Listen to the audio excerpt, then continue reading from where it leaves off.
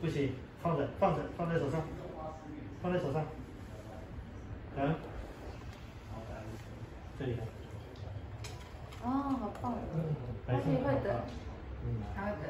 耳朵其实也是包，耳朵也包括了，就是耳朵其实也是我们皮肤的一部分。是。所以在如果说有一些月性皮肤炎状况下的话，耳朵一样会有一些就是发炎的情形。对。所以它。对，所以就是变成说饮食的部分，就是变成说要饮食还是要再去做控制。总共就一千个，所以你什么时候报一百个？一百例。一百个兽医师有这个资格的时候，我们来庆祝一下；两百个庆祝一下；到一千个的话，请主持人等一下，因为他很忙，不好意思。对啊，我知道啊，哈，所以因为简单来，他那边不会开的哈。他们也也有人，也有人工作，所以但是我们的目标就是这样，希望微创的这个能够。对，兽医师的微创训练中心能够训练到，然后达到我们一天的这个技术。比较特别的是，呃，我们过去这一这实际上两三年来、三四年来，一直都有在兽医跟人医一起共同做呃手术、微创手术的训练的活动。那那后来因为这个趋势越来越成长，所以我们也开设了呃这个专属的。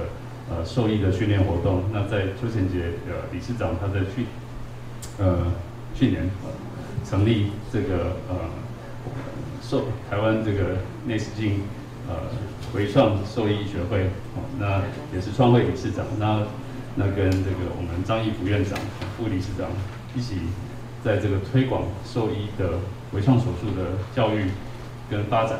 那我非常荣幸。秀传医疗体系可以跟啊这个医学会一起共同推广这样子好的技术发展。那所以我们也看到说，这个兽医领域未来的发展，所以我们也期许这个传奇动物医院可以在这个发展的过程中，呃，协助啊一同把做成一个人医与兽医的一个桥梁，然后可以跟呃各位兽医界的先进一起协助啊照顾这个毛小孩的健康。就是伊尔卡，这是现在全世界六座微创训练中心里面的第二座，是我们总裁斥资，还有黄院长领导，哦，秀成亚洲微创手术训练中心，我们就是利用我们这个资源，能够让大家，大家诶在这里把人医能够学的，让兽医的前辈也能够学，真的达到北乔峰南慕容，哦，邱邱理事长、张石行长之外。我们也有我们的一点点贡献哦，那这是我们最大的的心愿。今天是我们传奇动物医院的周年庆，我们的动物医院已经一年喽，一岁喽。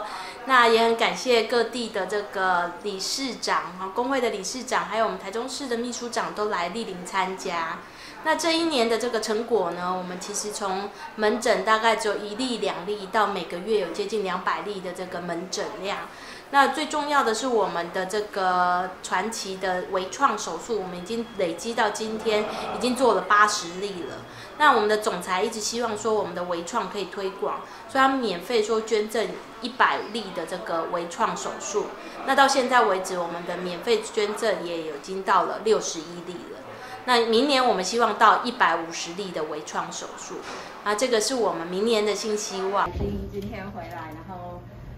参加一一周年的开幕活动，然后因为白金他呃会选择在这边节育，其实有一些呃有一个因缘，是因为呃我的叔叔他本身其实也是兽医，然后表妹表弟也都是呃兽医，然后所以呃才刚好有这方面的资讯，知道说哎传奇有在做呃微创手术，那呃因为之前自己也有养过呃几只狗。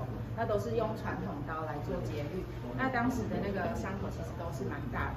那呃，知道在有微创手术的微创节育的这个就是机会下，我就把白金带过来，然后呃进行了那个这次的那个节育。然后当时节育之后，在这边留留宿了一个晚上。那隔天把它带回家之后，其实白金呃。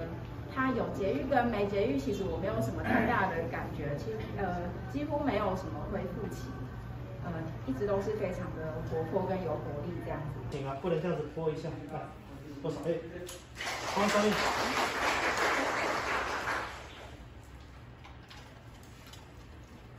他是很会等的哦，接下来等，还要等。来，坐。